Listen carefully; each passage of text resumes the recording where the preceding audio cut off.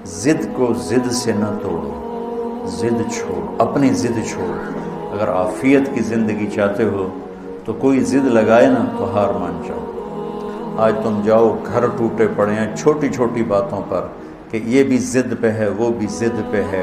मर जाने वाले, मिट्टी हो जाने वाले, ऐसी गंदी गंदी चीज़ों पर अड़ अड़ के खड़े होते हैं कि अपने आप को भी तबाह कर देते हैं, ख़ानदान को भी तबाह कर देते हैं, लेकिन एक मामूली सी ज़िद को नहीं छोड़।